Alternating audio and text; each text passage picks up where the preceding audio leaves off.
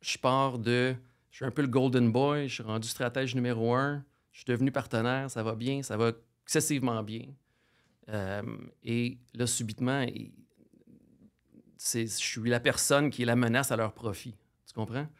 Tu deviens l'ennemi soudainement. Euh, oui, très, en, quelques minutes. C'était assez euh, plus incroyable. Ben, pendant quelques jours, je trouvais qu'il n'y avait pas grand monde qui venait me voir.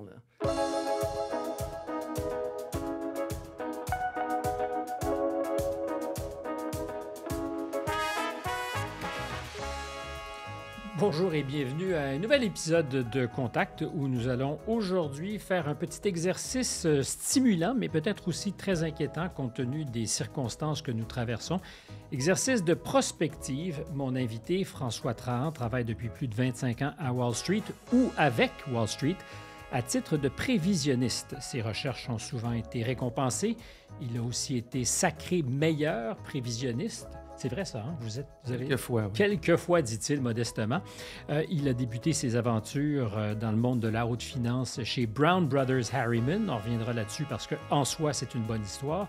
A travaillé aussi chez Bear Stearns, où il avait annoncé la fin de la bulle spéculative dans le secteur immobilier, une nouvelle qui n'a pas nécessairement à ce moment-là été bien reçue par son employeur. On reviendra aussi là-dessus et il est aujourd'hui à la tête de sa propre société. François, bonjour. Bonjour. Merci d'être là, j'apprécie. Merci de m'avoir. Euh, un prévisionniste, est-ce que c'est comme euh, quelqu'un qui fait de la météorologie euh, économico-financière? Puis je le dis sans ironie, là, parce que c'est un peu prévoir le temps à venir. Oui, je pense que j'ai des modèles peut-être un peu plus sophistiqués que ce qui est utilisé en météorologie. Vraiment? Parce qu'eux, ils disent c'est très, c'est oui, très sophistiqué. de plus en plus. je suis d'accord, mais je pense qu'il y a un peu plus d'incertitude dans, dans la température que dans l'avenir économique. Vraiment? Oui. Donc, on peut assez bien anticiper l'avenir. Absolument.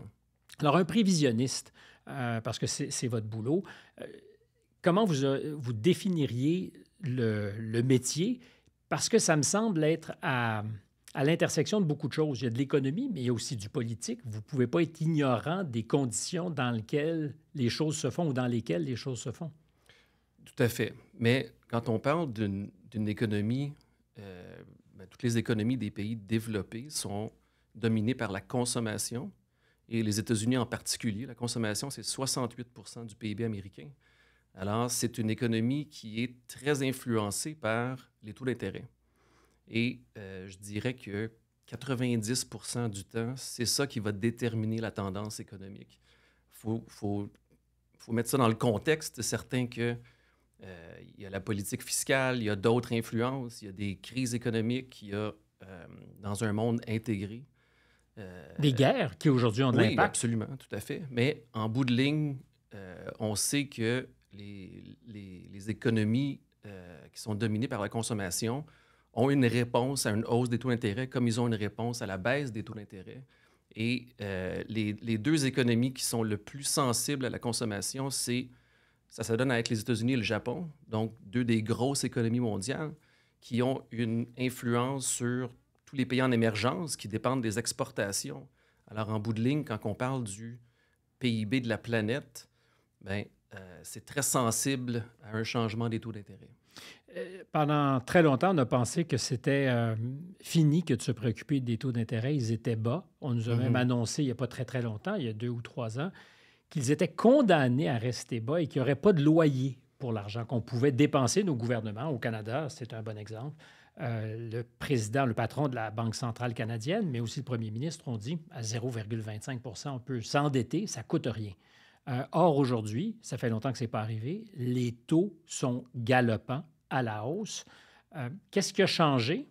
Et, est-ce que c'est. Est-ce qu'on peut parler effectivement d'un changement paradigmatique en ce moment? Euh, moi, j'utilise le terme structurel, mais euh, oui, ben, c'est une confluence de, beaucoup de choses en même temps. dans les années 2010, la dernière génération des baby boomers prennent leur retraite. Et c'était une génération qui était, probablement, qui avait beaucoup plus d'individus que les générations qui l'avaient précédée et même de celles qui ont suivi.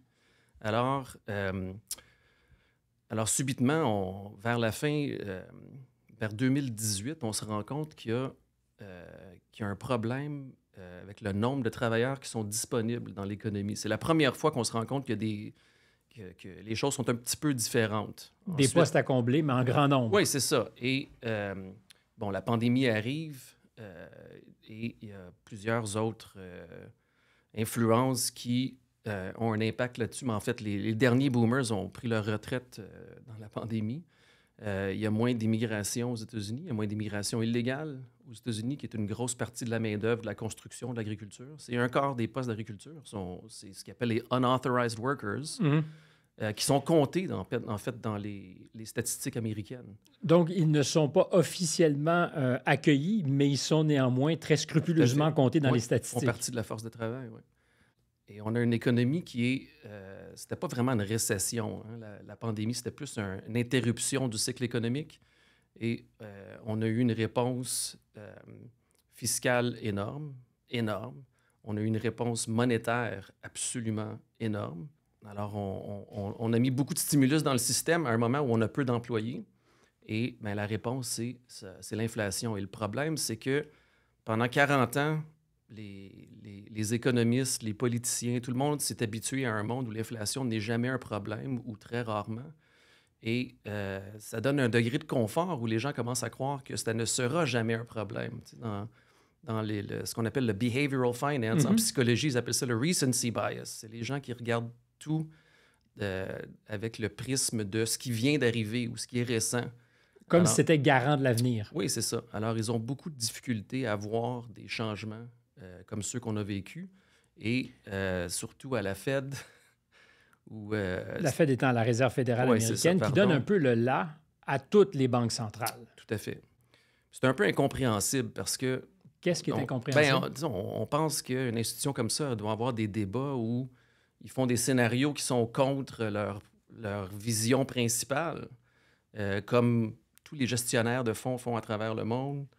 C'est-à-dire qu'on se dit voici notre principal façon de voir les choses, mais on devrait quand même se garder une petite gêne et être capable d'évaluer des scénarios alternatifs. Oui, c'est ça. En mars 2021, euh, quand tu dis non, non, non, non, il n'y a pas d'inflation, c'est transitoire, sans examiner vraiment tout ce qui se passe, juste du, du coup de la main, dire euh, non, non, il n'y en a pas d'inflation, c'est une histoire inventée. Est-ce qu'ils sont incompétents? C'est troublant. Oui, absolument.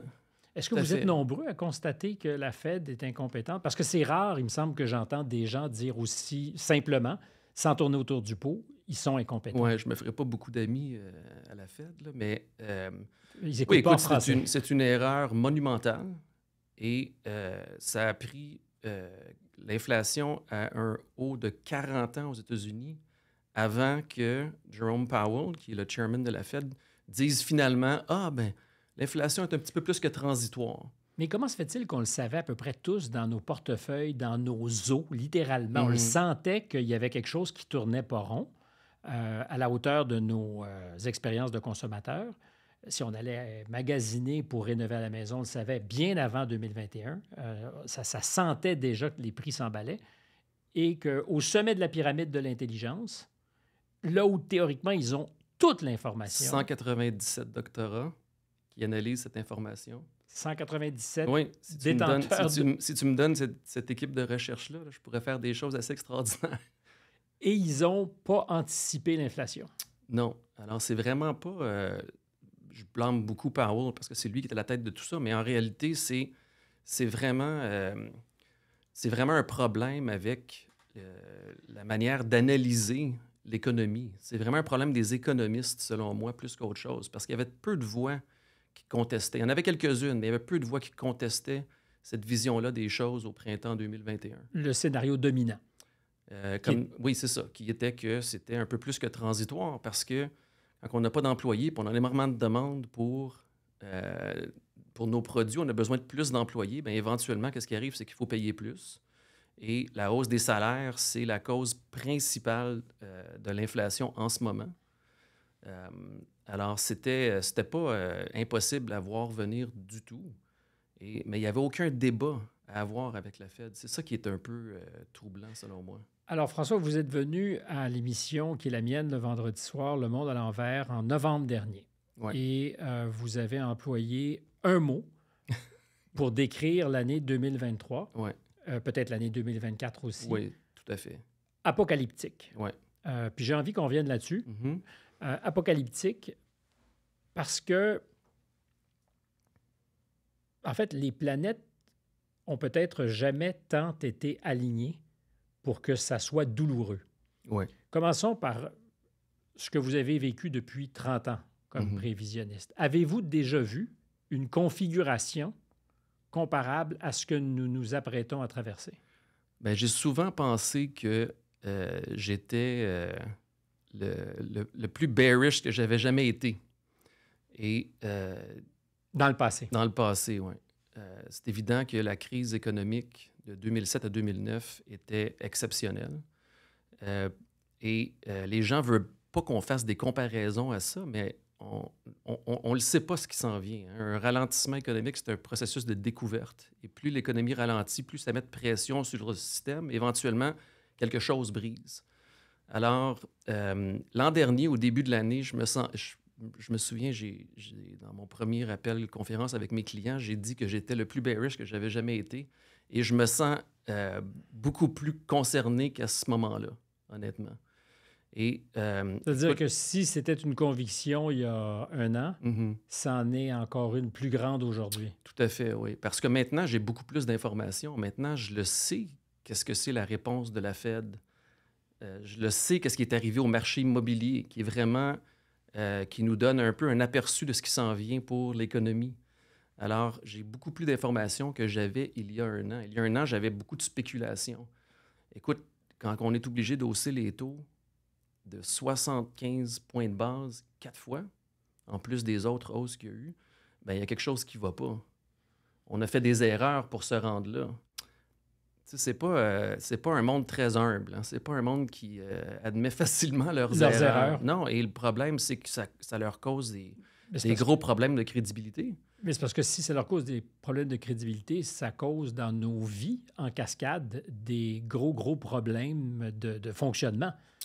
Oui, Parce que l'impact de ces erreurs-là, qu'ils les reconnaissent ou non, c'est qu'on est à risque collectivement de quelque chose d'assez gros. Oui, tout à fait. Écoute, euh, Parce que pour ceux qui ne sont pas initiés, Mhm. qui essaient de lire entre les lignes quand on se parle, quand tu dis apocalyptique, ben, je me dis, c'est quoi apocalyptique? C'est c'est du chômage en masse, c'est un ralentissement substantiel et la possibilité que des choses cassent. Oui, c'est c'est toutes ces choses-là, en fait. Et euh, ce qu'on sait maintenant, c'est que euh, ben, je pense qu'on aurait pu avoir cette conversation-là l'an dernier, j'aurais dit la même chose, c'est que la Fed semble incapable de voir venir ce qui s'en vient, même dans un mois. Ils ont euh, le- leur, leur habilité de, de voir venir l'économie semble inexistante. Est-ce que c'est reconnu dans les milieux financiers où on est un peu... Maintenant, euh, oui. Euh, mais euh, un an, Jerome Powell a encore beaucoup euh, de respect. Et maintenant, naturellement, les, les gens sont plus ouverts à ces débats-là. J'ai trouvé une étude de la Fed, la Federal Reserve de San Francisco, de 2017, où ils ont analysé euh, leur propre re- historique de euh, prévision. de prévision ouais, euh, sur l'économie, l'inflation, etc. Puis ils ont conclu qu'ils n'étaient pas très bons. Alors, en bout de ligne, peut-être qu'on ne devrait pas être surpris. Et euh, quand on comprend comment Jerome Powell a été nommé à la tête de l'institution, euh, on a appris euh, après le fait que Trump l'avait préféré à Yellen parce qu'il était plus grand et selon lui, les gens plus grands avaient plus de succès. Alors, ben, c'est- là où on en est. Et Powell, en fait, Mais euh, ça peut pas être la faute de Powell non plus. Non, parce écoute- que des organisations aussi importantes peuvent, à la rigueur, fonctionner même si le grand patron, à l'occasion, n'est pas l'homme de la situation. Oui, tout à fait. Et euh, écoute, si elles n'avaient pas fait ces erreurs-là, on aurait quand même eu une hausse des taux, mais elle aurait été contrôlée. Il n'y aurait pas eu de panique. Les marchés auraient sans doute l'an dernier eu euh, une trajectoire différente. Parce que quand on hausse les taux rapidement, et qu'on a un indice, le S&P 500, qui est maintenant dominé par les growth stocks, qui sont des titres qui ont euh, des... Les titres de des- croissance. oui, c'est ça, qu'ils ont des multiples très élevés. Ils sont hyper sensibles au changement des taux d'intérêt. Alors, le marché immobilier, euh, le marché euh, boursier l'an dernier, euh, la débandade du marché s'explique par une chose, la hausse des taux d'intérêt. Alors, on n'a pas eu encore le bear market. Le bear market classique, ça commence quand les bénéfices commencent à baisser. Et euh, ça, c'est l'histoire de 2023. Ça fait juste commencer. On voit les annonces de Home Depot, Walmart ce matin. C'est le début du ralentissement économique. Donc, dans les, les, les bénéfices du S&P 500, la récession, elle a déjà commencé. Ils ont commencé à baisser. Euh, et pour l'économie, ça s'en vient. Je précise pour ceux qui nous écouteront peut-être plus tard que nous enregistrons le 23 février, qu'on parle de prévisions sur plusieurs mois. On va probablement se rendre jusqu'en 2024, des horizons lointains. Donc, euh, attention, c'était le 23 février 2023 qu'on a enregistré cet épisode de Contact. Mais j'ai envie de, rendre ça compréhensible. Euh, pour, euh, alors, il y a certainement des gens très compétents qui nous écoutent parce que votre réputation fait qu'il y a plein de gens qui vont vouloir savoir ce que vous pensez. Mm-hmm. Vous êtes un peu le Nostradamus, je mets des guillemets et je souris en le disant. vous êtes certainement appuyé sur un meilleur modèle que celui qu'avait Nostradamus en son temps, mais vous êtes quelqu'un qui est écouté, qui peut-être fait bouger les marchés, dit-on. Euh, pour toutes ces raisons, concrètement, quand on parle d'apocalypse, mm-hmm. Qu'est-ce que ça peut signifier? Parce que moi, j'ai une idée assez claire, mais je suis un profane. Euh, je pense qu'on pourrait vivre une espèce de long hiver où euh, soudainement, il y a plein de choses qu'on tient pour acquis qui ne sont pas au rendez-vous. Mm-hmm. Parce que l'économie, c'est un peu... Ben, c'est ce qui fait fonctionner la vie de tout le monde. Hein. Alors, si vous avez, vous, à, à dépeindre à quelqu'un qui n'est pas investi à la bourse, mais qui est un citoyen, c'est quoi l'apocalypse? Ça serait quoi? Alors, je vais te donner juste des statistiques et des faits. Mm-hmm. Et pour répondre à ta question, il y a un délai d'environ deux ans entre un changement des taux d'intérêt et son impact sur l'économie. Et euh, donc, euh, historiquement, quand tu veux savoir où est le creux de la récession, ben, tu trouves le, le point haut des taux d'intérêt et tu rajoutes deux ans. Puis on n'est pas probablement au sommet des taux d'intérêt. Moi, je ne pense pas qu'on y est encore, non. Mais même si on spécule qu'en novembre, quand les taux obligataires ont augmenté énormément, que c'était le, le, sommet, mais ça nous dit que la récession elle va se terminer euh, vers la fin de 2024, quelque chose comme ça. Mm-hmm. Donc, euh, et si les taux montrent à, un nouveau sommet, ben, on, faut rajouter à ce moment-là la longueur de la récession. Oui, c'est deux ans. Euh, et ça, c'est économétrie 101. OK? C'est pas compliqué. Mais quand je dis que c'est inexplicable ce qui s'est passé à la Fed, moi, j'ai appris ça euh, à l'université, dans les cours d'économétrie. Et ça tient la route. Oui, ben oui ça, ça, fonctionne depuis 100 ans. Ça fonctionne dans toutes les économies développées du monde. C'est dans tous les modèles prévisionnistes de l'économie. La variable dominante, c'est les taux d'intérêt et on l'avance tout le temps de deux ans pour pouvoir faire un forecast, pour pouvoir faire une prévision. Alors, ça, c'est la, première chose à laquelle il faut penser. Alors, on ne sait même pas quand la récession va se terminer. On sait juste qu'elle est sur le point de débuter. Et euh, ça, on le sait parce que la, liste d'indicateurs qui, nous le disent est, longue comme le bras à ce point-ci. Mais tout le monde parle d'un soft landing, d'un atterrissage en douceur, que la mécanique subtile des augmentations mm-hmm. des taux d'intérêt, puis que les dons divinatoires de la Fed, mm-hmm. parce qu'eux ont vraiment bien vu la situation, euh, va nous permettre collectivement de vivre quelques petits frissons au terme desquels tout va repartir en beauté. Quand on parle d'apocalypse, c'est pas ça. Je, reviens avec le mot parce qu'il y avait fait peur, mais je comprends. Oui. Ben, la, chose la plus facile à dire, c'est ben, il n'y a pas de récession, c'est différent, voici pourquoi. Et il y a toutes sortes de, réponses qui n'ont aucun bon sens selon moi, mais en tout cas. Et euh, la conclusion du soft landing, ben, c'est la plus facile parce que ça justifie le fait que ça serait une opportunité d'achat pour les marchés boursiers. Mais se peut-il qu'il y ait quelque chose de vicié dans notre façon de, voir les, grands marchés financiers? Parce qu'il n'y a personne qui a intérêt à nous convaincre que ça va aller mal. Et, on pourra revenir à votre parcours biographique parce que ça vous a instruit d'un certain nombre de choses. Tout à fait, oui. Euh, en général, les, prévisionnistes, les économistes qu'on entend sont aussi liés à des organisations qui dépendent pour survivre de vendre des actions, vendre mm-hmm. des obligations. Enfin, ils ont un marché. Euh, Or, en ce moment, ça serait peut-être pas le meilleur des moments pour acheter, mais c'est contre-intuitif pour quelqu'un dont la mission, c'est de nous vendre des titres. Euh, oui, tout à fait. Écoute, j'ai travaillé pour deux grandes banques américaines et euh, quand on est le stratège euh, de portefeuille d'une grande banque, il y a beaucoup de pression pour être positif. Pour voir la vie en rose? oui, tout à fait, pour voir la vie en rose. Et la, chose principale qu'on fait comme stratège, c'est qu'on a, euh, on essaie de déterminer où va être le S&P 500 à la fin de l'année. Et, euh, qui est un indice de référence. Oui, c'est ça. Alors, c'est pas euh, hors du commun que le directeur de recherche vienne te voir et dire T'es sûr que. T'es sûr que. la manière dont tu regardes ça, c'est correct? Tu penses pas que peut-être que les bénéfices pourraient être un peu plus hauts? Alors. Qu'il y aurait euh, moyen de moyenner. Oui, c'est ça.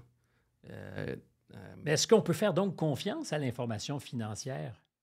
Parce qu'on a commencé en disant, est-ce que c'est comme les prévisions météo? Et euh, en fait, je vais vous tutoyer, hein, François, puisque tu me tutoies et ça me fait plaisir. Non, non, il n'y a aucun, aucun souci, ça me fait plaisir. Euh, mais tu me dis, non, c'est beaucoup plus précis, moi, ce que je fais que ce que peuvent faire euh, les météorologues. Mm-hmm. Or, ceux à qui on fait confiance souvent pour acheter ou pour anticiper les mouvements de l'économie, ce que tu me dis, c'est qu'ils sont un peu biaisés. Euh, Sinon beaucoup. Oui, parce que, euh, ben, écoute, euh, quand ton patron vient te dire, il faudrait que tu sois un petit peu plus optimiste pour que ça fitte avec les autres personnes de la firme, etc. Tu sais, les gens aiment beaucoup l'économiste parce que lui, pense que l'économie va croître 3,5% l'année prochaine. L'économiste étant le magazine? Non, non, je veux dire, dans toutes les grandes banques, il y a le stratège, il y a l'économiste. Moi, j'ai toujours eu des, un peu une relation de conflit avec les économistes où j'ai travaillé, mais euh, et puis, tu sais, tu as, des petits commentaires comme tu sais qu'il va avoir une très bonne année. Il va avoir une très bonne année. Alors, c'est des. Ça, ça veut dire quoi qu'il va avoir une ben, très Ça veut dire qu'il va faire un gros salaire parce qu'il est positif. Tu comprends? Alors, wow. oui, oui, ah, oui, c'est euh, clair comme ça parfois. Donc, euh, de voir la vie en rose mm-hmm. va avoir un impact direct sur la compensation finale. dans certains cas, oui, absolument. Et moi, je suis persuadé que euh, certaines choses que j'ai faites dans ma carrière m'ont coûté, mais euh, en bout de ligne, euh, m'ont également permis d'avoir la réputation que j'ai, d'avoir ma propre firme où je peux maintenant dire tout ce que je veux. Je n'ai pas besoin de faire attention à mes collègues. Je n'ai pas besoin de faire attention à ce que je dis au sujet de la Fed parce que peut-être que la banque fait des affaires avec la Fed, etc. Alors, je suis dans une position privilégiée quand même maintenant de pouvoir parler comme ça, mais la plupart de, des stratèges de Wall Street ne peuvent pas avoir une conversation comme ça. Parce qu'ils sont en conflit d'intérêts. Oui, ouais, c'est ça. Entre ce qu'ils pourraient penser publiquement mm-hmm. et les besoins de la banque qui est de vendre des produits financiers. Je pense que le meilleur exemple de ça, Stéphane, c'est que dans les derniers mois, les targets des stratèges de Wall Street ont suivi le marché. le marché qui monte, leurs clients commencent à être un peu plus positifs, alors ils haussent leur target. Puis je pense qu'il y a seulement il y a j'ai vu ça il y a à peu près un mois, mais sur 28 personnes qui ont un target sur le S&P 500 cette année pour 2023, il y en a seulement trois qui s'attendent à un marché baissier. Donc, sur 28 cibles potentielles et 28 stratèges, il y en a mhm. trois qui disent à la fin de l'année, ça pourrait être négatif, c'est-à-dire sous zéro. Euh, c'est ça, que le, S&P 500 serait à la baisse. Comme il l'a été en Les gens utilisent des choses comme euh, des vieux dictons qui disent ben, le marché de janvier nous donne l'année, des choses comme ça, qui est complètement ridicule, mais euh, les gens. Euh, Achètent ça. Ben oui, ben ils cherchent n'importe quoi pour essayer de pour essayer d'avoir une opinion positive. Alors, euh, ça vaut la peine de, revenir sur ce qui te permet, François, de dire ça aujourd'hui sans être pour autant baveux, pardonne l'expression, parce que ça pourrait être perçu quand lui, il, est dans un camp à part, il, a l'impression d'avoir la vérité. moi, je suis convaincu que si tu es capable de, de dire ça, puis euh, c'était pas irrévérencieux quand j'ai dit de ne pas avoir l'air baveux. Euh, c'est au contraire très respectueusement que je le dis. Euh, il y a une vie qui t'a précédé, une vie à Wall Street.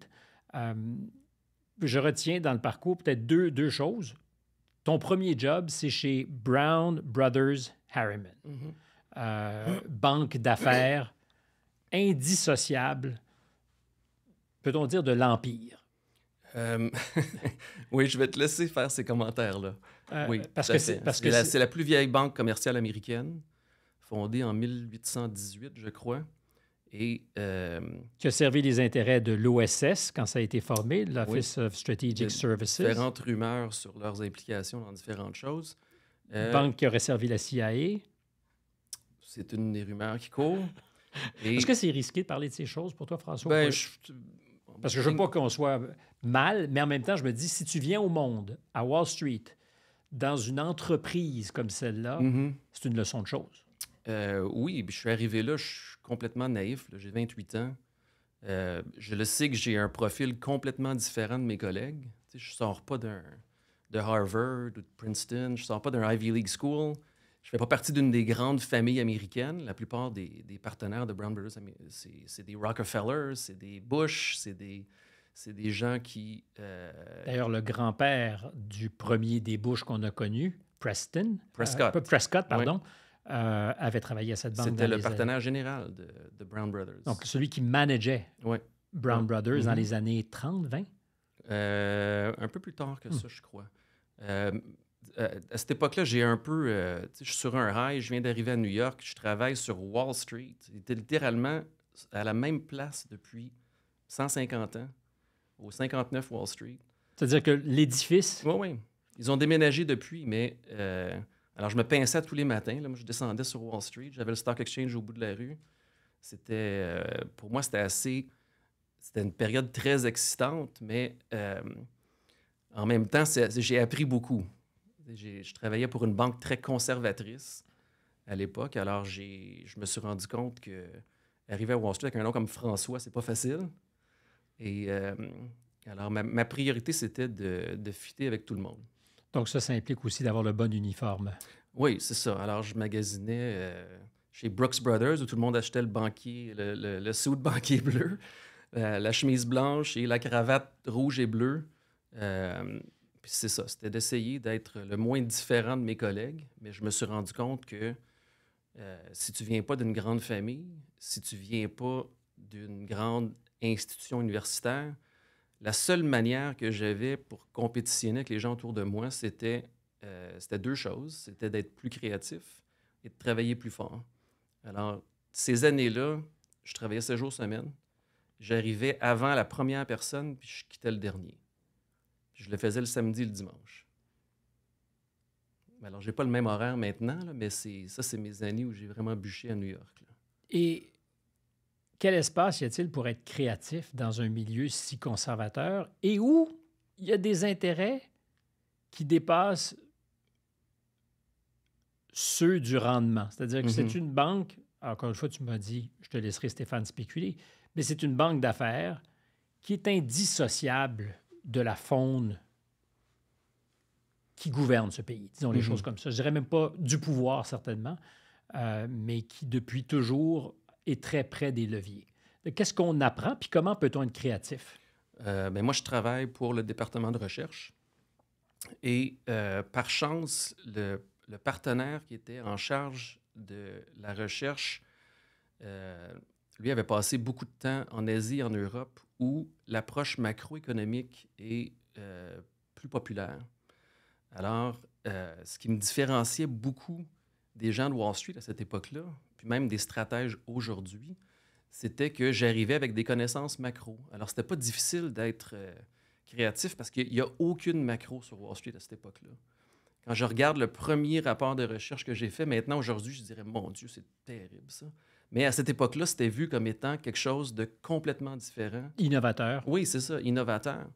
Et euh, pour en revenir un peu, je vais faire une tangente, pour en revenir aux stratèges, le, pourquoi est-ce que les pourquoi est-ce que les stratèges ont de la misère à voir venir l'avenir? C'est parce que ce pas des gens qui sont formés en macro. La plupart des stratèges, c'est des anciens analystes financiers.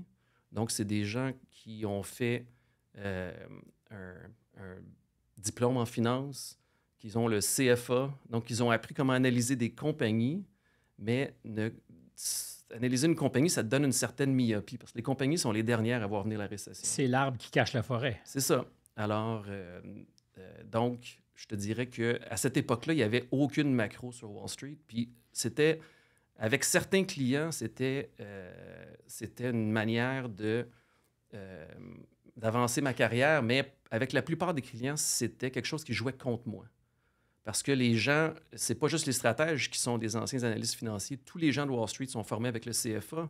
Ils sont extraordinaires pour analyser des balance sheets des compagnies, mais ils n'ont pas les outils nécessaires pour comprendre ce qui s'en vient. Alors, c'est une question moi, que je pose souvent, mais j'ai pas de meilleure manière de la formuler. Qu'est-ce que tu sais que tu as appris en étant au cœur de la bête, mm-hmm. dans ce qu'il y a de plus proche du pouvoir à Wall Street, que je ne peux pas soupçonner que le jeune homme candide qui débarque du Québec, euh, diplômé à l'Université de Montréal, découvre et qu'il ne savait pas? Euh, mon Dieu, je ne sais pas où commencer. Il y a, tellement de choses. Ben, j'ai compris rapidement que, euh, euh, écoute, un commentaire qui semble tellement simple aujourd'hui, qui est de dire que le marché boursier et l'économie ne sont pas dissociables, à cette époque-là, peut-être 70% de mes clients ne croient pas qu'il y a un lien macro. Puis encore là, c'est un peu à cause de leur formation. C'est un peu parce qu'on est dans un bull market des années 90 où euh, c'est de choisir le meilleur tech stock qui te fait de l'argent, etc. Alors, c'était facile dans ce monde-là de penser qu'on était un très bon investisseur. Tu comprends? Parce que tout montait. Parce que tout montait, exactement. Alors, euh, il y avait quand même beaucoup de réticence à euh, l'approche macroéconomique. Donc, je me sens quand même chanceux d'avoir eu ce rôle-là à cette époque-là. ça a été très formateur. Mais je dis, il y a deux, deux rendez-vous peut-être importants dans, dans, ta vie. J'imagine arriver là euh, et découvrir ce que c'est Wall Street dans ce que ça a de plus puissant, comme je le disais. Un meeting avec un personnage conséquent dans le monde de l'économie américaine ou dans le monde de la finance, Hank Herman, mm-hmm. euh, un chapitre complet d'un livre classique, euh, Liar's Poker, écrit par Michael Lewis et consacré à Hank Herman, qui a un surnom, le, titre du chapitre, c'est The Piranha, le piranha. Donc, lui, c'est le piranha? Oui, puis lui, euh, il n'était pas gêné de ça du tout. Il y avait un piranha empaillé derrière son bureau. Donc, quelqu'un qui n'a aucun complexe à non. manger euh, son prochain s'il le faut. oui, c'est mon premier meeting avec euh, Hank Herman, c'est un peu ça. C'est-à-dire?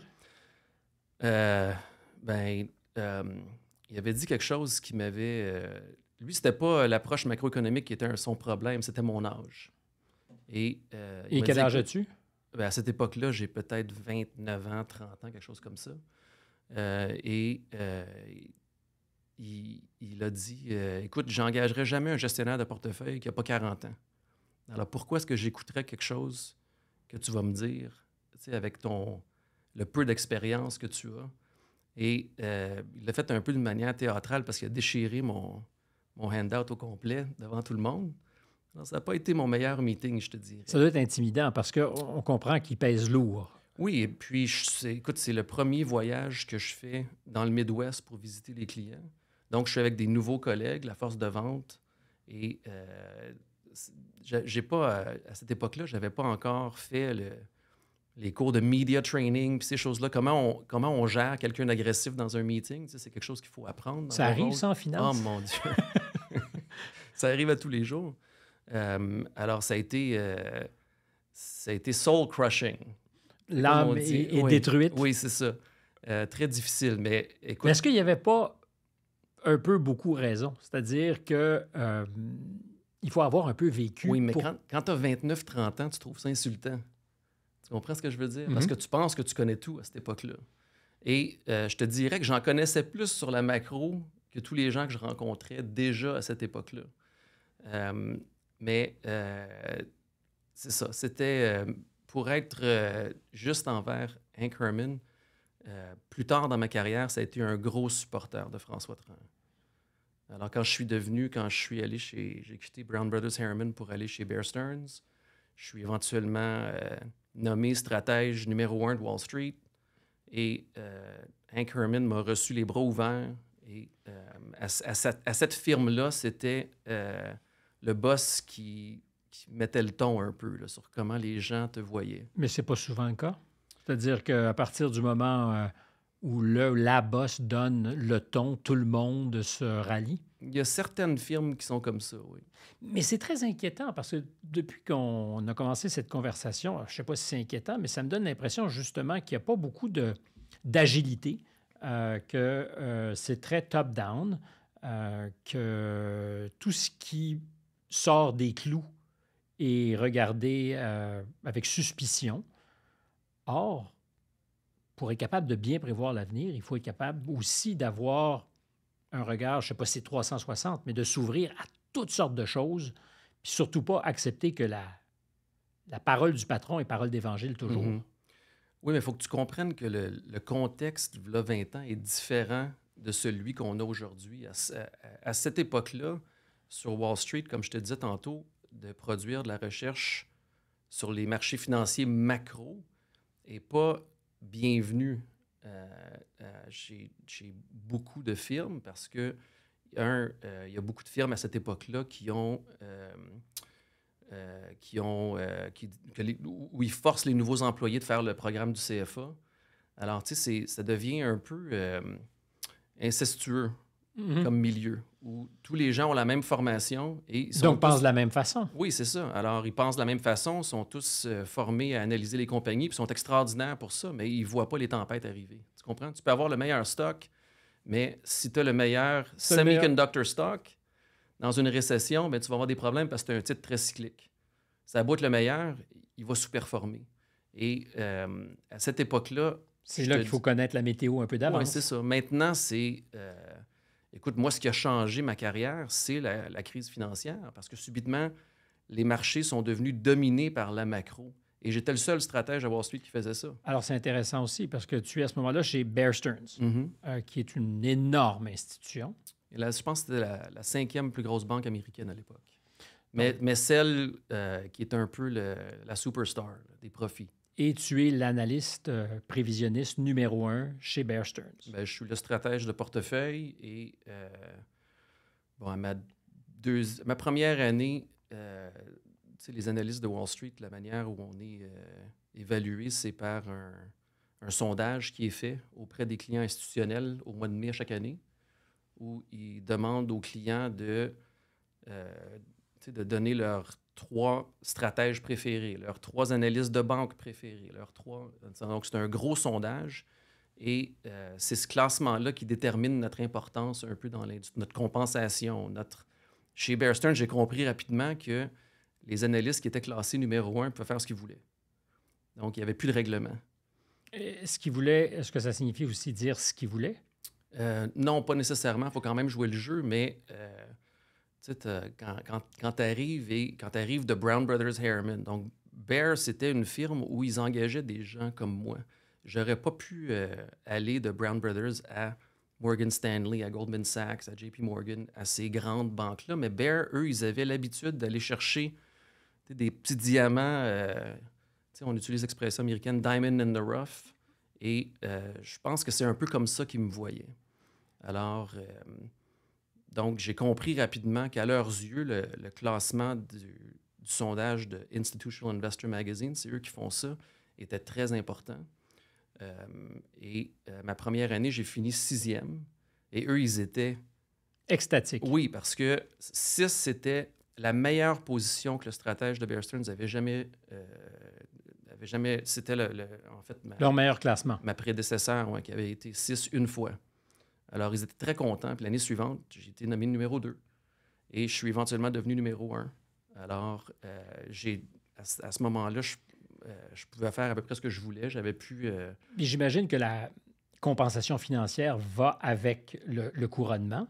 Et c'est pas pour rentrer dans les détails de ce que ça signifie, mais mon intuition, c'est que ça peut corrompre. C'est-à-dire que quand on dit les bonnes choses puis qu'on est récompensé pour avoir dit les bonnes choses, il devient difficile de dire les mauvaises choses, mhm. sachant qu'il y aura peut-être un prix à payer.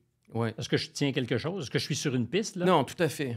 Mais la différence pour moi, Stéphane, c'est que euh, j'ai une approche différente. J'ai une approche macro. Alors, quand la, Fed hausse les taux de 2004 à 2006, ben, dans mon modèle à moi, hein, ce que je sais, c'est qu'il y a un ralentissement qui s'en vient. Qui s'en vient.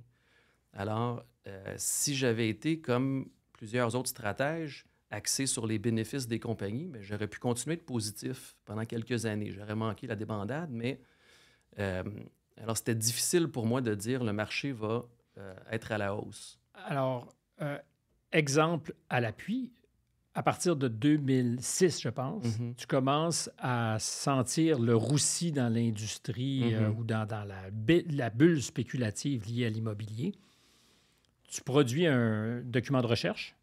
Ouais. Euh, tu vas mettre plusieurs mois à produire. C'est drôle parce que à la télévision, on pourrait le voir, ou à l'écran, on pourrait le voir. Soudainement, tu as comme pris ta respiration.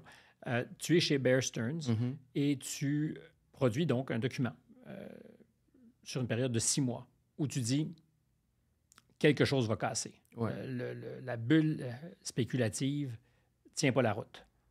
Je vais te donner le contexte de tout ça, OK? Alors, je suis nommé partenaire Je suis le plus jeune dans l'histoire de la firme. Quel âge? J'ai 33. Et, euh, et euh, je commence à travailler sur un papier sur les bulles spéculatives. Donc, au début, mon approche, c'était pas de vraiment de parler de la crise financière, c'était comment on identifie les bulles. Parce qu'on avait euh, été brainwashé un peu par l'ancien directeur de la Fed, Alan Greenspan, qui avait dit on ne peut pas les voir venir, les bulles spéculatives, qui est de la bullshit totale selon moi. on peut les voir venir. Ben oui, absolument.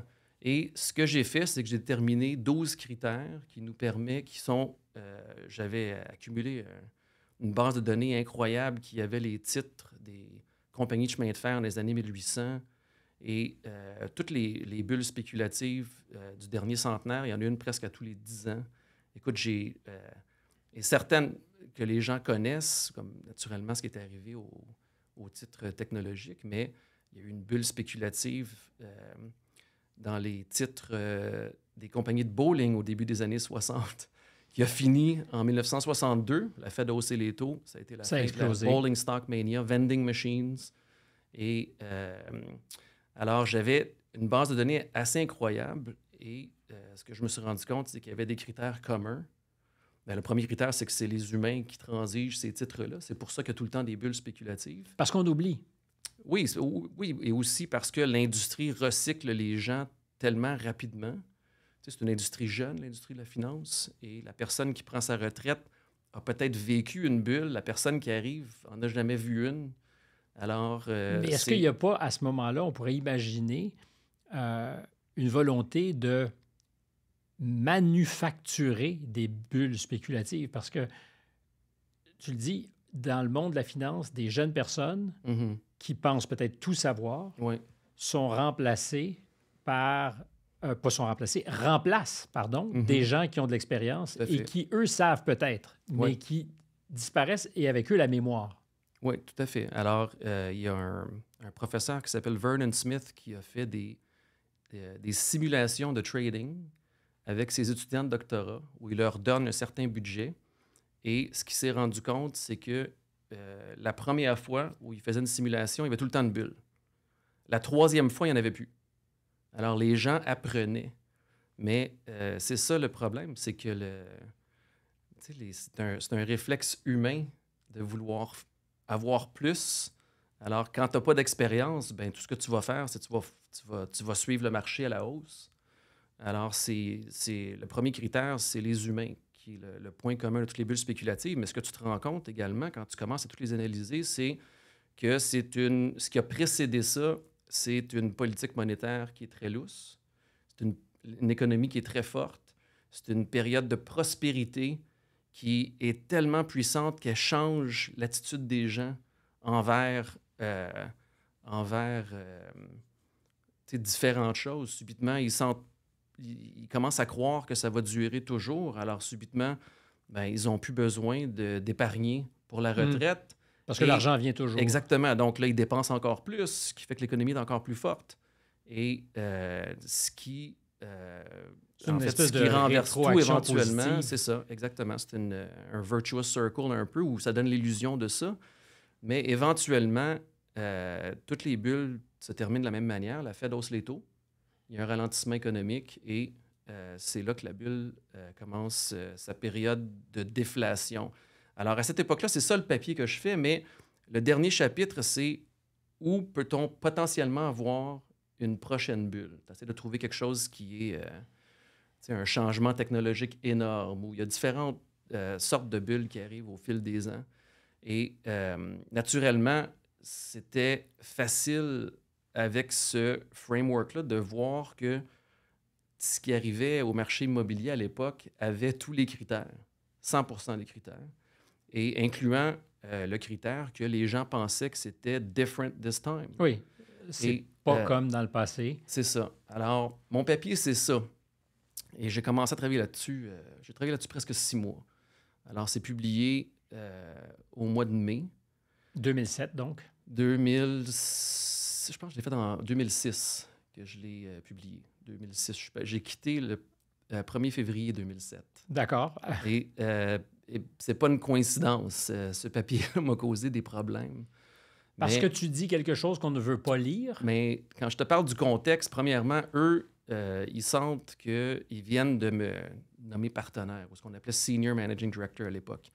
Et euh, donc, je fais partie du groupe. Donc, je suis supposé supporter la firme et 80% des profits viennent des marchés immobiliers parce que Bear Stearns, c'était la firme qui faisait les CDOs, qui, qui, euh, qui vendait des, des papiers commerciaux. Oui, c'est ça.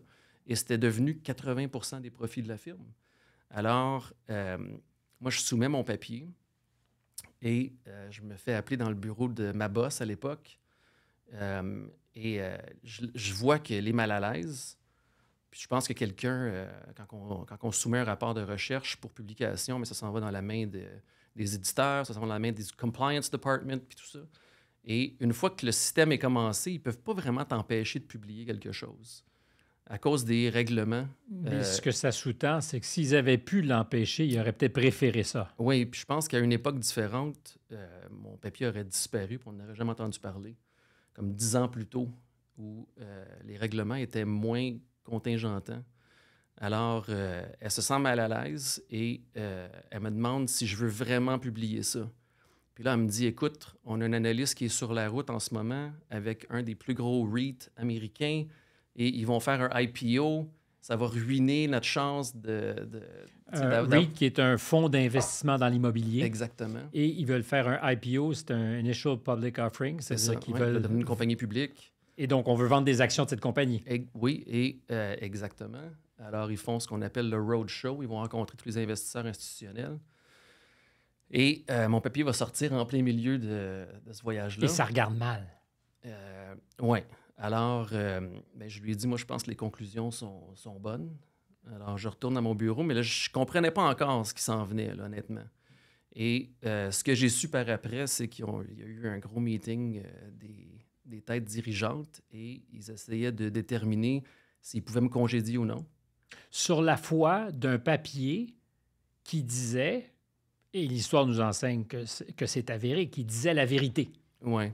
Ben, qui, qui, disait. Euh, qui annonçait en tout cas. Qu'il y, avait une version euh, pas tellement loin de ce qui s'en venait. Ça ne veut pas dire que j'ai nécessairement vu euh, la saisie des marchés financiers complète, mais euh, c'était quand même pas très loin de ce qui s'en venait.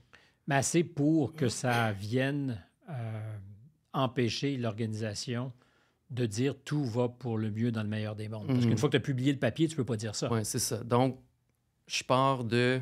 Je suis un peu le golden boy, je suis rendu stratège numéro un, je suis devenu partenaire, ça va bien, ça va excessivement bien. Euh, et là, subitement, je suis la personne qui est la menace à leur profit. Tu comprends? Tu deviens l'ennemi soudainement. Euh, oui, très, en, quelques minutes. C'était assez euh, plus fréquentable. incroyable.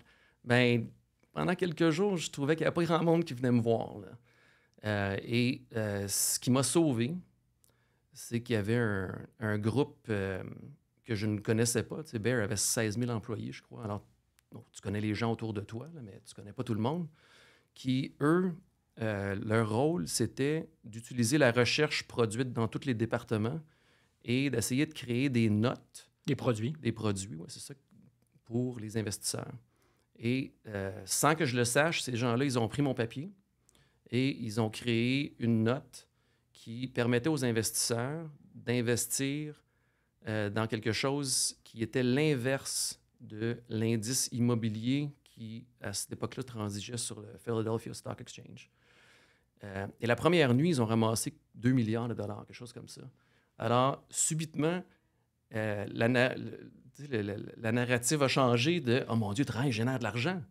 Tu comprends? Alors, je suis redevenu un peu Golden Boy. Fréquentable parce que malgré toi, d'une certaine façon, il avait trouvé un moyen de faire de l'argent avec ça. Oui. L'analyste euh, qui était sur la route avec le REIT, il m'avait laissé un message, par contre, de lui, il ne m'a jamais reparlé. Euh, c'est très violent, alors. Oui, mais écoute. Euh, parce que c'est le. Oui, mais tu parles des billets que les gens ont. Lui, son, son, lui, son billet, c'est que lui, sa compensation, elle est basée sur son succès à lui, dans son domaine à lui. Et euh, ben, je viens de l'écorcher un peu. Là, on parle pas de dizaines de milliers de dollars. C'est souvent des centaines. Oh oui, de... c'est des millions de dollars, les, les, frais d'un IPO. C'est excessivement lucratif pour les firmes. Et, et pour ceux qui vendent, évidemment. Oui, c'est ça. Alors, euh, c'est ce groupe-là que, que je connais pas qui m'a sauvé, en fait, euh, qui a sauvé mon emploi à l'époque. Mais éventuellement, tu choisiras de t'en aller parce que tu as compris peut-être que d'être le porteur d'une vérité désagréable n'est pas toujours très agréable. Euh, ça a joué un peu un rôle. C'est étrange quand je pense au cheminement de ma carrière. J'ai tourné à gauche au lieu de tourner à droite à certaines intersections et puis euh, ça a été la bonne décision. Euh, c'est un peu bizarre pourquoi je quitte. ma relation a changé avec les patrons, c'est clair, après ça. Donc, je ne suis pas revenu au statut que j'avais avant, je te dirais. Même si je générais de l'argent pour la firme d'une manière. C'est comme si le lien de confiance avait été cassé. Oui, un peu, c'est ça. Ce gars-là, on ne le contrôle pas. Oui, c'est ça, un peu. Euh, il ne fait pas partie de la gang. Et euh, alors, j'avais ça un peu dans, dans l'arrière de la tête, mais euh, ce qui est arrivé, ça va sonner étrange, mais j'ai eu une rupture de l'appendice en, septembre 2006. Euh, mais la conséquence, c'était que je ne pouvais pas voyager pour le travail pendant à peu près deux mois. Donc là, subitement, je suis pogné au bureau. C'est une époque où je voyageais toutes les semaines euh, pour aller visiter les clients à travers le monde. Alors, euh, je suis pris au bureau et je reçois un appel d'une petite firme qui s'appelle ISI à l'époque, qui a moins de 100 employés, mais qui, dans mon domaine, dans la macro, euh, a une très bonne réputation. Et l'économiste numéro un de Wall Street travaille là, Ed Hyman. Alors, euh, je te raconte ça pour te dire que si euh, j'avais pas eu mon, appendicite, ben, j'aurais été tellement occupé que j'aurais probablement jamais retourné l'appel, puis j'aurais certainement jamais eu le temps d'aller le rencontrer. Et euh, c'est ça qui a mis un peu en route mon processus de démission en 2000. Ben, j'ai quitté le 1er février 2007. Et juste à temps pour ne pas avoir à vivre de l'intérieur euh, l'effondrement du, ben, du système. Pendant quelques mois, on a l'impression que tout pourrait arriver. Oui, mais Parce que la crise de 2008-2009, euh, elle est violente. quand je parle des, des surprises qu'on voit dans un ralentissement économique, ma dernière journée chez Bear Stearns, je te garantis qu'il n'y a pas une personne dans le building qui pense que, la, euh, que les CDO, c'est un problème. Je pense que c'est une opportunité.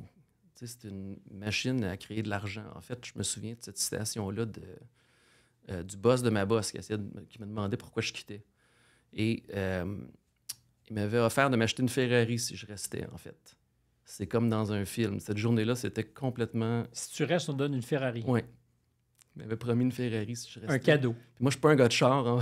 Ça n'a pas résonné fort. Euh, non, c'est ça. J'habite à Brooklyn. C'est impossible de stationner une auto à Brooklyn. Je me dis, mon Dieu, essaye de m'imaginer euh, arriver sur la, rue et essayer de stationner ça. En tout cas, euh, tout ça pour dire que cette dernière journée-là, le titre de Bear est à 169,50 On en avait parlé déjà. Et 13 mois plus tard, la firme n'existe plus. Mais c'est ça les surprises d'un ralentissement économique. Et on va en avoir des surprises comme ça dans les prochaines années. Bien alors, ça nous amène à, ce qui s'en vient en 23, 24, probablement 25. Euh, si on avait à faire rapidement l'inventaire, euh, j'essaie toujours de, ramener ça à quelque chose de concret pour qu'on comprenne, qu'on saisisse ce qui peut arriver. Euh, les sources de surprises potentielles. On a en septembre dernier, septembre 2022, compris que l'Angleterre était beaucoup plus vulnérable qu'on aurait pu l'imaginer. Euh, à la blague, je pense qu'on s'est dit, c'est presque un membre honoraire des pays du tiers-monde maintenant. Euh, on n'aurait jamais pensé dire ça. Qu'est-ce qui s'est passé? Euh, mais toutes les fois où j'ai fait face à un ralentissement économique global, quand on essaie de penser où sont les crises, on se tourne tout le temps vers les marchés en émergence parce que c'est des économies qui sont très dépendantes des exportations, donc sont dépendantes de la demande des États-Unis, du Japon, de l'Europe, etc. Et euh, souvent, ces pays-là ont beaucoup euh, de dettes dénominées en dollars américains. Et dans un ralentissement économique global, le dollar américain monte. Alors, c'est un peu un, en anglais, on dit un double whammy Mhm. pour ces économies-là. Et euh, il y en a euh, souvent qui. euh, Mais l'Argentine a vécu ça plusieurs fois. oui, euh, ben, il y a eu la, la- la crise en Asie dans les années 90. C'est, euh, donc, c'est, un peu une longue histoire. Puis toutes les fois, c'est là où on trouve les, les candidats les, les plus solides pour une crise financière. Puis je dirais qu'en 2023, il y en a plusieurs. Euh, Et cette- la surprise, c'est que c'est plus les habituels suspects. c'est ça, c'est la première fois où il faut que je pense à, au Royaume-Uni, il faut que je pense au Japon, il faut que je pense à des grosses économies qui peuvent avoir des conséquences sur les marchés financiers qui sont difficiles à imaginer. Puis quand on dit conséquences sur les marchés financiers, puis je fais attention de le ressouligner, ça c'est c'est pas juste pour les investisseurs ou ceux qui se préoccupent de leur REER, c'est que ça a des, des impacts en cascade sur toutes nos vies économiques. Euh, oui, les- on, parle, là, on parle juste des conséquences. Oui, absolument, tout à fait. Et, euh, Et le Japon, ouais. Mais l'Angleterre, la, la grosse surprise, c'est la nouvelle, la nouvelle première ministre qui euh, annonce qu'une mesure pour stimuler l'économie, qui est on va baisser les taux de taxation. Et en 24 heures, le marché obligataire a décidé autrement. c'est-à-dire ceux qui prêtent de l'argent au gouvernement, le marché obligataire, c'est ça. C'est ça. Donc, les, les obligations euh, du Royaume-Uni ont augmenté et euh, donc l'effet positif que tu aurais de la baisse des taux de taxation a été complètement éliminé par la hausse des taux d'intérêt. Parce que le marché dit je ne crois pas à ce que tu es en train de faire. Euh, oui, et je pense que la raison derrière ça, c'est, s'il fallait rajouter une autre phrase, c'est étant donné la quantité de dette et le déficit que vous avez déjà. Alors, la marge de manœuvre que l'Angleterre a eue dans d'autres ralentissements économiques n'est plus là. Mais c'est pas seulement l'Angleterre à ce moment-là qui est peut-être dans le trouble, parce que ton pays, les États-Unis, Mhm. très endetté. Le Oui. Canada ne l'est pas pire non plus. Oui, Euh, et Et le Japon, le Canada est quand même, je te dirais, relativement dans une meilleure position que, relative. Oui, euh, que beaucoup des autres pays développés, mais en partie parce que on a eu la crise budgétaire ici au début des années 90, qui, je pense, a changé l'attitude envers le déficit et la dette, euh, qui est tellement différente de... Écoute, euh, au début, dans les années 2000, je me souviens du vice-président Cheney qui disait « Deficits don't matter ». Les déficits, c'est pas important. Et à cette époque-là, il n'y a pas énormément de dette aux États-Unis. C'est à peu près 35-40% du PIB, le niveau de la dette. Alors, dans ce contexte-là, tu peux faire ces commentaires-là, mais euh, depuis ce moment-là, on a eu bon, la crise financière. Ensuite, le Et où on a dépensé beaucoup, beaucoup, Ouais. beaucoup. et euh, ensuite, le président Trump a coupé les taux de taxation des corporations, qui a créé un déficit structurel. Et on a eu la pandémie. Alors, en ce moment, quand on regarde la dette du gouvernement américain, elle se compare au niveau euh, par rapport à la grosseur de l'économie, par rapport au PIB, qu'on avait euh, à la Deuxième Guerre mondiale. Et le déficit américain, ça, c'est un peu euh, apeurant quand on pense à ça. On s'en va dans un ralentissement avec un déficit de 5% du PIB, qui, je dirais, avant la pandémie, aurait été considéré comme critique. Alors, C'est-à-dire que chaque année, mhm. on dépense 5% plus que ce qu'on réussit à rentrer. Ouais, c'est ça. Donc, Et euh, ça, ça s'accumule. Ça veut dire que cette année, on dépense 5 de plus que ce qu'on a accumulé avec une économie qui est encore en croissance.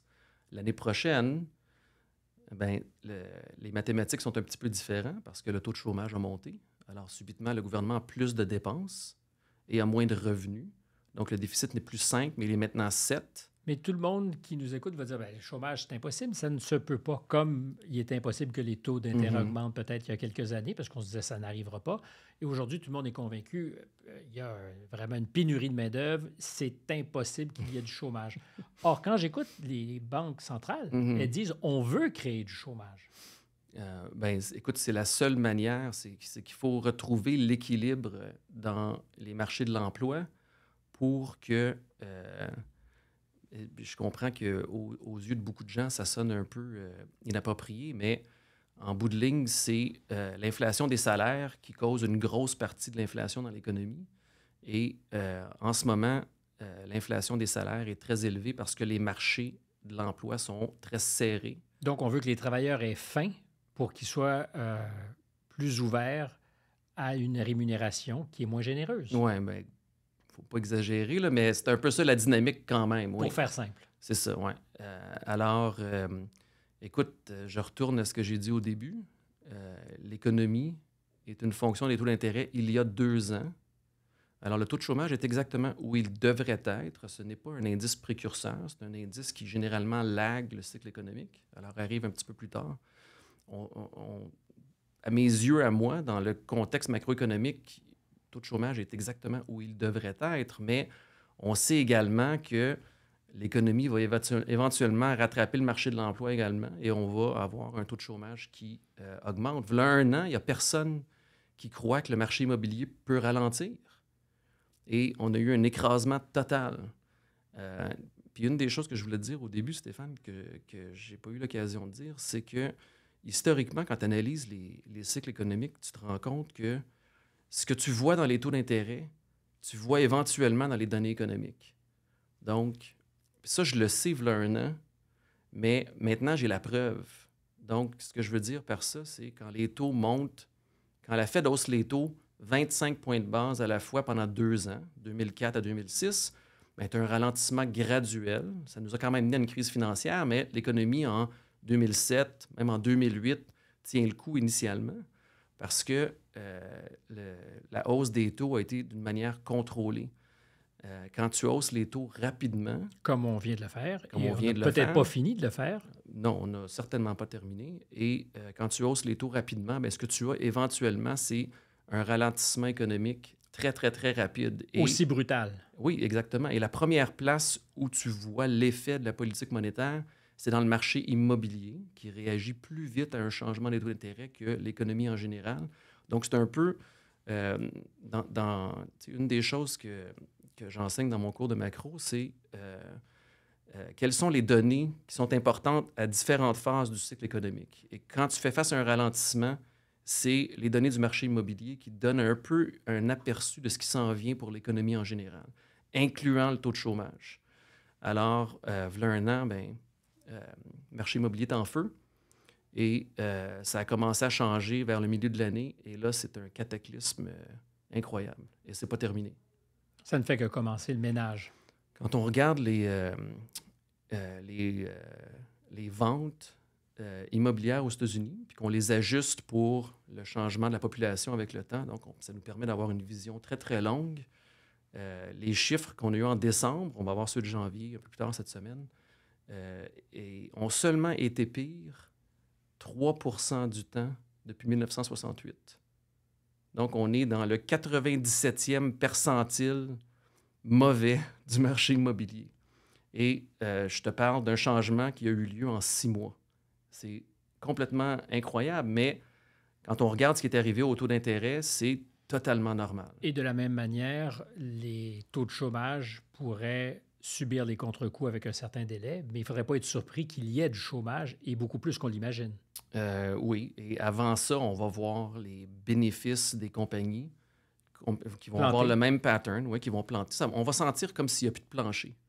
Et euh, c'est dans des situations comme ça qu'il y a des paniques dans le marché parce que les investisseurs, subitement, même ceux qui ont une vision positive, abandonnent leur thèse et renversent complètement pour essayer de sauver les meubles.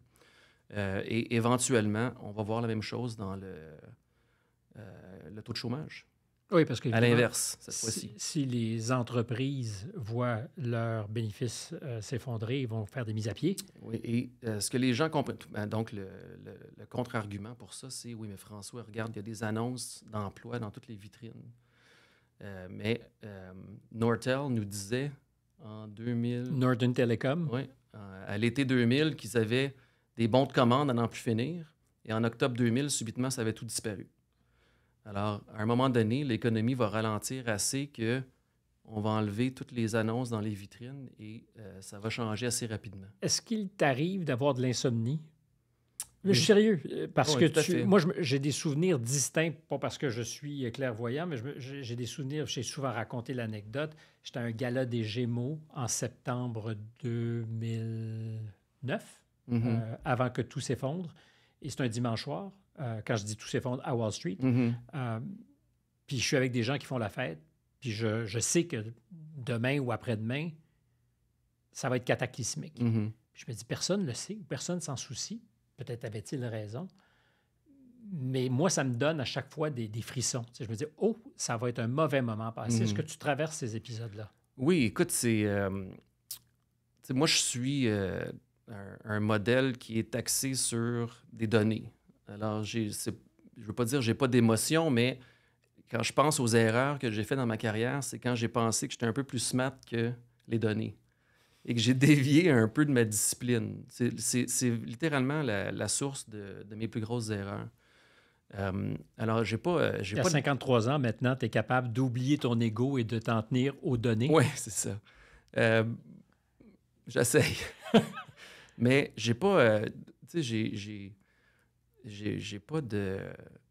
tu sais, C'est pas agréable d'être obligé de d'être bearish puis de dire écoute, il va y avoir un ralentissement énorme. Je fais pas ça avec plaisir. Mais c'est la conclusion euh, de l'analyse macroéconomique, malheureusement. Et il y a- il y, a des conséquences énormes à tout ça. Et tu n'as jamais été de ta vie plus pessimiste? Euh, J'ai jamais été de ma vie plus inquiet, non. C'est un message, évidemment, que personne ne veut entendre parce que ça ne fait pas vendre. Non, c'est ça. Et euh, puis surtout en ce moment, ben, j'ai des clients qui grincent un peu parce que le marché a monté. Puis là, ils disent, mais t'es tellement négatif. Mais euh, quand on est dans mon domaine, on essaie de renforcer le message continuellement. C'est difficile d'être contrarien, c'est-à-dire de, de répéter alors que tout le monde pense que ça va bien, Mhm. qu'il y a un incendie dans la place. Puis les gens disent, ben non, je sens rien, je vois pas de fumée, tout va bien. Ouais. Pas pour moi, mais je te dirais que les outils que j'utilise, euh, le, milieu le, plus propice pour leur efficacité, c'est quand la Fed hausse les taux. Euh, c'est là que le, message est le plus clair. Alors, je perds pas de sommeil euh, à savoir si je vais avoir raison ou non. Littéralement, j'ai aucune inquiétude, j'ai pas de stress, j'ai pas d'anxiété là-dessus. Non, mais c'est sur le scénario final, c'est-à-dire là où on sera dans un an, dans deux ans, parce que ça ne sera pas le même monde Non, que celui dans lequel on est aujourd'hui. non. Ça, c'est du concret pour ceux qui nous entendent, encore une fois. C'est-à-dire Mhm. que oublions les marchés si on n'est pas investi, on l'est toujours d'une manière ou d'une autre. Euh, ça sera peut-être pas sympathique dans un an ou dans deux ans. Non, je te dirais que le concret euh, pour une petite firme qui vend de la recherche, c'est que dans, dans des situations comme ça, on perd des clients. Parce qu'il y a beaucoup de boîtes qui vont être obligées de fermer leurs portes. Ça, je l'ai vu dans, dans tous les cycles économiques. Euh, euh, donc, ça, c'est la, la- la- première conséquence. Euh, même si on a tout à fait raison sur ce qui va arriver, c'est ça qui arrive. Les conséquences économiques ben, sont énormes parce que le chômage va augmenter. Puis tu n'es pas sociologue, mais on en parlait à micro fermé, puis je, je prends la balle au bon. Euh, mais il y a plein de conséquences qui sont désagréables. La criminalité est assez corrélée aussi aux Tout à conditions fait. Oui, économiques. les études euh, académiques euh, démontrent que dans un ralentissement économique, ben, les taux de criminalité augmentent, les taux de suicide augmentent, la détresse augmente. Et en 2021, euh, en fait, mon équipe a eu un peu une intervention avec moi parce qu'ils trouvaient que j'étais un peu trop euh, animé par euh, mes commentaires sur le chairman Powell de la Fed. Mais c'est ça, je me disais, mon Dieu, lui, il est assis dans sa tour d'ivoire, puis il dit, ah, non, non, l'inflation, c'est transitoire. Puis il n'y a au- aucune donnée qui supporte ça. C'est vraiment, ça a l'air d'être plus une opinion qu'une Mhm. analyse. Tu comprends ce que je veux dire? Très bien. Et ça, ça m'enrageait parce que euh, dans mon contexte à moi, c'est très clair qu'à un moment donné, l'inflation va forcer la main de la Fed et plus on attend, plus on va être obligé d'avoir une réponse exagérée, plus les conséquences économiques et socio-économiques sont énormes. C'est sûr que c'est pas euh, mon dada de, de tous les jours, là, ce que je fais. Moi, mes clients veulent savoir où le marché s'en va, comment se positionner, etc. Mais euh, je Parce ne suis, ça- pas- je suis pas aveugle à ces choses-là quand même. beaucoup d'autres choses. oui, c'est ça, exactement. Et le contexte qui euh, est peut-être un peu différent cette fois-ci, c'est que la marge budgétaire des États très endettés n'est pas la même que celle qu'on avait en 2008-2009, par exemple. C'est-à-dire qu'on ne pourra pas beaucoup dépenser pour compenser. C'est ça, c'est que le- le réflexe du gouvernement américain dans tous les ralentissements, dès que le taux de chômage se met à monter, c'est de dire, bien, on va avoir, euh, on va faire du, euh, on va stimuler l'économie avec la politique fiscale. Et cette fois-ci, l'habilité du gouvernement de faire ça est limitée. Si elle est disponible, je ne sais pas. En, Angleterre, il n'y a pas de marge. Alors, euh, puis, moi, ce qui est arrivé en septembre dernier en Angleterre, euh, quand tu parles de l'insomnie, mais ça, c'est quelque chose qui me donne l'insomnie. Je me dis, mon Dieu, qu'est-ce qui arrive si on fait face à un ralentissement incroyable et euh, puis le marché, le marché obligataire nous empêche de stimuler, d'aider les gens en détresse. quand, tu dis il empêche, c'est-à-dire qu'il sera impossible d'emprunter autrement qu'à des taux prohibitifs parce que le marché obligataire va dire vous n'avez plus les moyens d'emprunter. Exactement.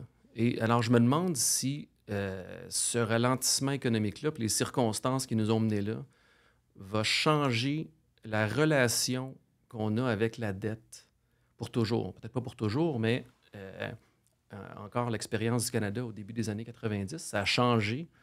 Mm-hmm. Ça a changé l'attitude du gouvernement et même l'attitude politique envers le déficit. Et en même temps, je suis tenté de dire que 15 ans plus tard, 17 ans plus tard, on avait un peu oublié et que M. Trudeau, soudainement, a retrouvé de vieux réflexes où il s'est dit, avant même la pandémie, mm-hmm. euh, il était très tendance de dire wow, on doit dépenser. Mm-hmm. Euh, c'est un peu le New Monetary euh, comment dire, Theory. Mm-hmm.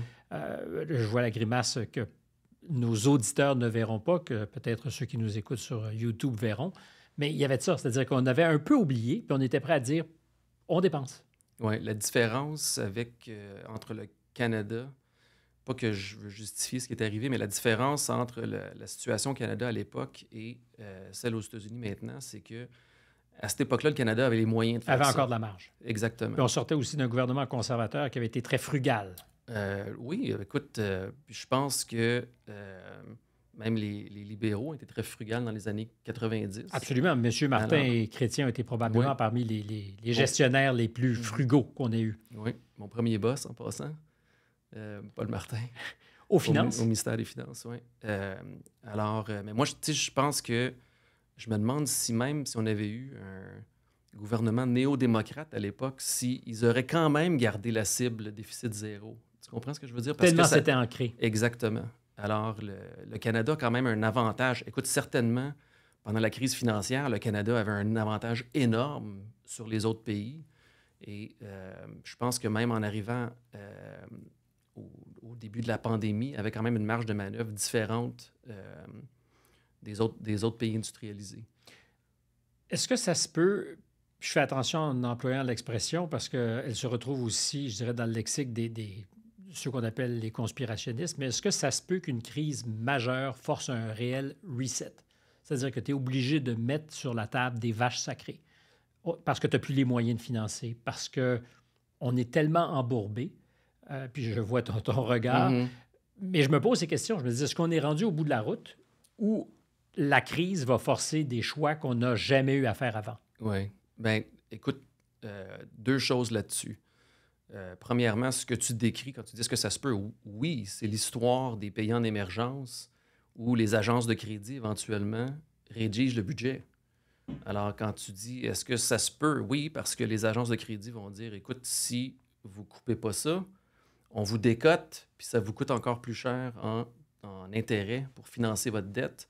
Alors, euh, il arrive un point où les agences de crédit ont une influence énorme. y compris sur des pays riches. Ben, c'est ce qu'on se demande cette fois-ci. On ne le sait pas encore, pour être euh, très honnête, mais euh, je, dirais que les, les signes avant-coureurs de ce qui se passe en Angleterre, de ce qui se passe au Japon, font que c'est pas euh, une impossibilité. Et les, je pense pas qu'il y a beaucoup de gens qui pensent à ce risque-là. Même si Parce qu'on serait les deux seuls poissons qui pensons à ces choses-là. Parce que souvent, puis encore une fois, je, suis un profane, je mm-hmm. connais rien, j'ai pas le, millième de tes compétences. Mm-hmm. Puis quand je parle de ces choses-là, on me dit Mais t'es complètement mal luné, t'es es, parano. Puis je dis Ben non, il me semble que oui, mais écoute, si tu es, si, euh, assis là euh, le 1er janvier 2007 et que tu dis euh, dans les prochains 18 mois, Bear Stearns va disparaître, Lehman Brothers va disparaître, AIG va faire banqueroute, puis tu continues avec ta liste, tout le monde aurait pensé que tu étais complètement fou, puis en réalité, tu avais une boule de cristal. Tu comprends ce que je veux dire? Très bien. Alors, c'est difficile de voir ces risques-là arriver. Donc, c'est pour ça que je dis rien avec certitude. Je ne le sais pas. Je sais juste que dans des ralentissements économiques énormes, il y a des choses qui brisent et c'est certain qu'il va en avoir cette fois-ci. Euh, et ça, ça a un impact sur notre qualité de vie? Euh, oui. Parce que c'est peut-être la, manière la plus simple de décrire les choses. Oui, bien, les gens ici ont des REER, les gens aux États-Unis ont des 401k et euh, ils ont déjà souffert l'année dernière pour la majorité des gens et ça va continuer cette année. Donc, subitement, ta qualité de vie commence à changer parce que tu te dis, mon Dieu, ça ne sera pas la retraite à 60 ans, il va falloir que je travaille un petit peu plus longtemps. Alors, il y a des conséquences énormes à ces choses-là. Être le porteur des mauvaises nouvelles, j'ai compris que ça ne te donnait pas de l'insomnie, mais néanmoins, c'est pas le fun. Non, c'est euh, c'est pas le fun. Écoute, euh, pour en revenir à ce que tu as dit tantôt, j'ai des clients qui pensent à ces choses-là, mais euh, c'est une minorité. Moi, je pense que dans rendu à l'automne cette année, euh, de parler de crise potentielle, ça va être le sujet de Wall Street. Et j'ai dit la même chose avec au sujet du marché immobilier en janvier de l'année dernière et ça sonnait complètement... Hérétique. Euh, oui. Euh, et si tu en veux la preuve, tu as juste à regarder certains de mes posts sur LinkedIn. Tu regarderas les commentaires des gens. Ils sont furieux, hein? Euh, ben à l'époque, ils étaient furieux parce que j'ai utilisé le terme, euh, ça c'est en mai dernier, j'ai utilisé le terme death spiral in housing. Hmm. C'est le début du death spiral, la spirale de la mort de housing. Et ça, ça avait animé beaucoup de gens, ouais. Puis sur les réseaux sociaux, les gens n'ont pas beaucoup de filtres. Alors, euh, il y a des commentaires très intéressants. Oui, très intéressant. Quand les gens décrivent les choses comme étant très intéressantes, c'est qu'on sait que ça faisait probablement ou mal ou que c'était extrême. Euh, François, moi, ça a été un plaisir. Euh, c'est certainement pas rassurant. Euh, est-ce qu'on peut se laisser sur une note rassurante ou il n'y en a pas si on est réaliste et lucide? une note rassurante par rapport au... Au, contexte qui est ah. Parce que c'est comme si on était un peu Will le coyote, mm-hmm. qu'on pédale en ce moment, mm-hmm. au-dessus de la falaise. On est passé, en fait, par-dessus, on est dans le vide, puis on ne le sait pas. C'est ce que je retiens de notre exercice aujourd'hui. Moi, je pense souvent au, train qui, euh, qui essaie d'arrêter et qui s'en va euh, au mm-hmm. bout de la falaise. Donc, une analogie très similaire. Écoute, une note positive. Euh, il y a des outils financiers maintenant qui sont disponibles aux investisseurs, pas juste institutionnels, mais personnels, qui n'étaient pas disponibles à la crise financière. Alors, les gens peuvent protéger leur portefeuille. Qu'est-ce que tu fais, toi? Est-ce que tu as encore des actions seulement dans ton portefeuille? Bien, euh, sans parler de, euh, de recommandations spécifiques, euh, écoute, il y, a, différents produits qui... il y a des choses qu'on sait. Dans un ralentissement global, le dollar américain est à la hausse. L'an passé, il, y avait une hausse fulgurante. Donc, avoir du dollar américain? Bien, c'est une option pour les gens qui euh, ont cette conclusion-là. Euh, tu peux, il, y a des, il y a des ETF qui sont, euh, il y a différents produits qui sont l'inverse du marché boursier. Alors, il y a différentes manières de, de, se protéger. Quand tu crois à ce dont on a parlé aujourd'hui. C'est ça, oui. Mais sans rentrer dans les détails, comme investisseur, j'imagine que tu es moins en bourse que tu l'as déjà été. oui. Oui, oui, tout à fait, parce que, écoute... Il faut être conséquent, j'imagine, avec ce qu'on voit. Euh, et, euh, je me fais souvent poser la question puis, euh, par des clients, puis ma réponse est tout le temps, mais moi, moi je ne suis pas un gestionnaire institutionnel. Moi, je gère. Le, fonds universitaire de mes enfants, ces choses-là. Alors, c'est pas, ça ne veut pas dire que je vais nécessairement faire ce que je recommande à mes clients exactement. Mais en bout de ligne, je ne suis pas aveugle. Pour moi, c'est clair comme de l'eau de roche qui s'en vient. Alors, euh, euh, et j'y crois 100 Et ça va faire mal. Et ça va faire mal, oui. François Tran, merci beaucoup. Ça a été vraiment, je le répète, un plaisir. Néanmoins, un plaisir qui aura peut-être été difficile pour ceux qui nous ont écoutés, mais je préfère être lucide, averti, que de dire je ne savais pas. Merci de me recevoir. Un vrai bonheur. C'était Contact. Vous pouvez, euh, je le rappelle, nous euh, voir sur notre chaîne YouTube si vous le voulez. C'est une occasion aussi de voir toute l'information qui s'exprime dans le visage de mes invités. Si vous avez le temps aussi de noter sur l'application que vous fréquentez le balado, nous l'apprécions. Ça fait toute une différence. À la réalisation, il y avait Lola Mal qui était avec nous, c'est Marianne Grenon qui est à la recherche et Jean-Philippe Bégin fait la musique que vous entendez. Stéphane Bureau microphone en compagnie aujourd'hui de François Trahan. À très bientôt.